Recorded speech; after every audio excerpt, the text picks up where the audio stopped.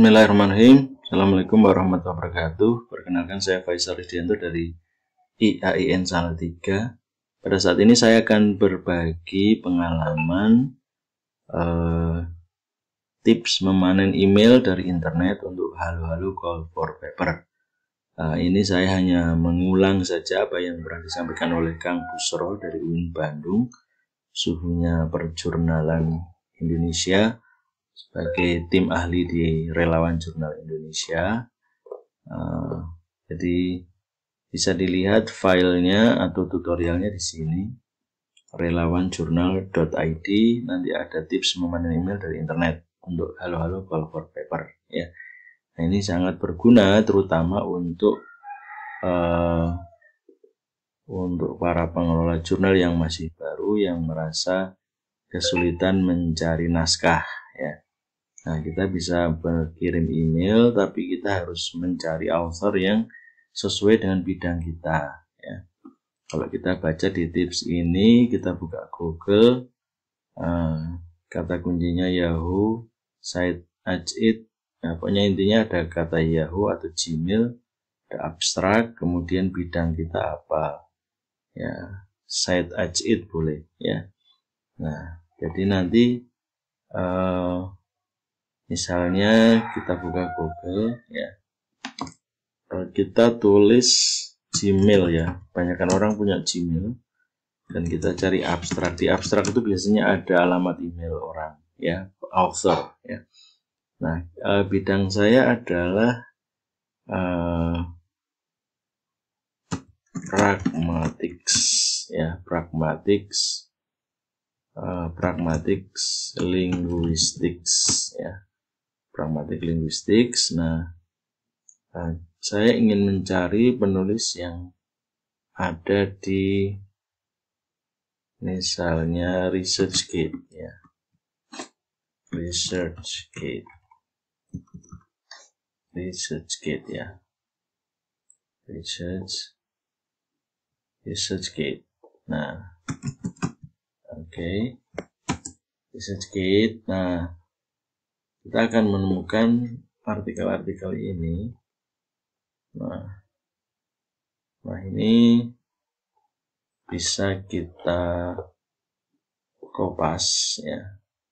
Jadi kita kopas, kita kopas, kemudian kita buka light 1.4 atau www.light14us ya. Lite 14 titik US kita kopas di sini. Ini adalah email extractor. Nah, kita klik di sini. New line. Jadi nanti hanya diambil emailnya saja. Nah, dari artikel ini. Kita klik extract nah kita dapat uh, eh, 5 email ya nah untuk amannya kita kasih koma karena kalau kalau ada koma itu nanti akan pisah kalau di email ya. Oke. Atau kita pindahkan di notepad juga boleh kalau susah mengeditnya. Oke kita pindahkan di notepad aja. Nah, kita pindahkan di notepad atau bisa langsung ke email kita ya. saya override ya Jadi, kita kasih koma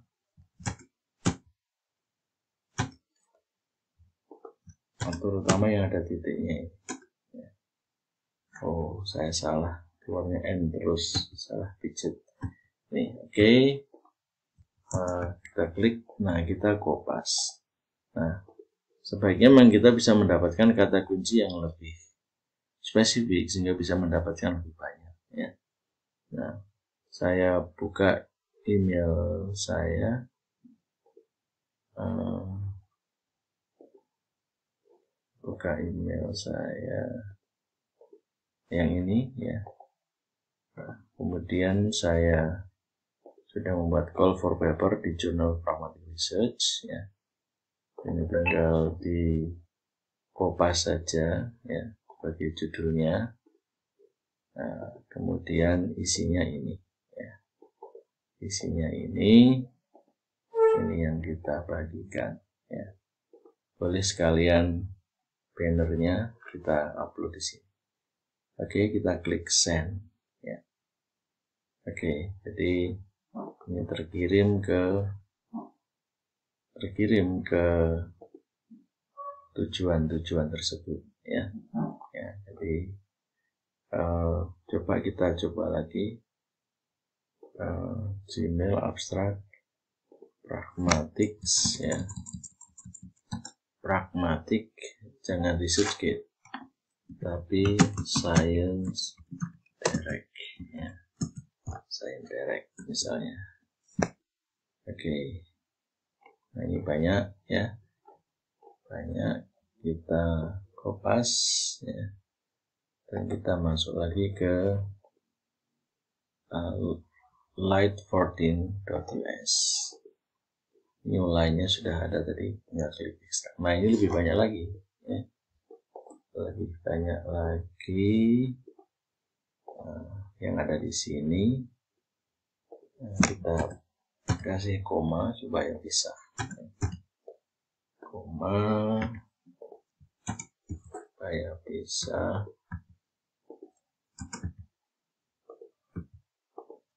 Ya ada angka dua kita hilangkan.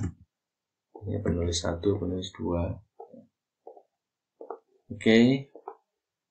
nah yang tadi cukup kita forward aja ya.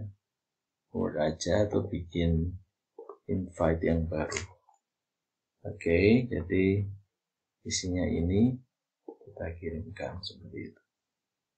Nah, jadi eh, dengan cara ini setidaknya nanti akan ada penulis terutama dari luar negeri yang merespon tulisan kita. Ya, jadi nanti akan japri satu persatu dan kita akan melihat manuskripnya itu bagus atau tidak. Jadi terutama untuk supaya call for paper yang luar negeri. Ya, kalau dalam negeri kita share lewat WA dan sebagainya, mudah ya di Facebook. Tapi kalau luar negeri, kadang kita perlu sampai ke email masing-masing. Ya. Oke, jadi uh, itu tutorial yang bisa saya sampaikan.